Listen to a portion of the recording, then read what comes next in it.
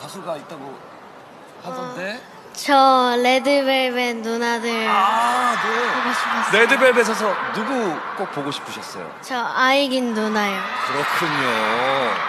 네, 우리 강훈 군 푸사가 네, 저는 태연 씨 노래 아주 좋아합니다. 그리고 또 우리 몬스타엑스도 좋아하고요. 또 뉴이스트도 아주 좋아합니다.